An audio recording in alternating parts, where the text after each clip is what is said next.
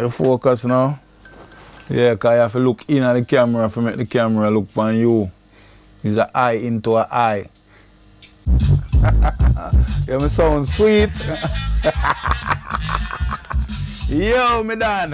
When I walk through my front door, I'm a happy, happy bunny. Because, you know what I mean? When I remember when they used to shut that door and walk away with that key, I'm thinking, wow, I miss every single thing. I miss my children, miss my house, I miss the music, I miss my life. Ready for the world. Don't know if the world is ready for me, but I am ready for the world. One of the great things I miss was like going to the market. I would go to the fishman like Jeffries and buy my fish, my bourgeois, my snapper, my yellowtail, um, my butterfish or my doctor fish.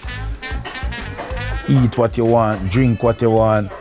It's majestic. Virgin, sistering. You don't need to be in prison.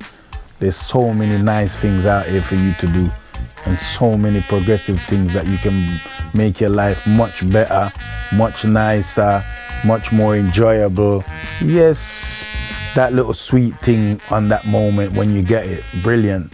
But the future, that's what you think about. Right now we're at Bucky's Joe Studio, Ferndale Road, Brixton. Right now the heart of Brixton Ghetto. You see me? The studio stuff is that's my life. And that was one of the things them that I missed. I started off just being a box boy, lifting up speaker boxes for discos.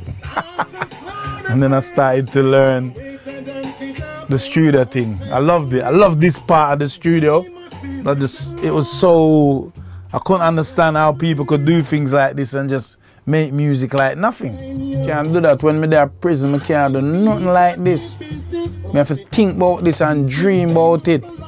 You know, I can't even explain it in actual words. It's such a joy to be able to do the normal things that I was used to before. That means I ain't going back there. And I never want to go back there. The small things in life are the great things. Make sure I have my Jamaica to go in Jamaica thing. So we are promote Jamaica. My lips touch no other cup, only this. And no one's not allowed to touch this cup. Straight up. Jamaica we say. Sorry Miss Queen.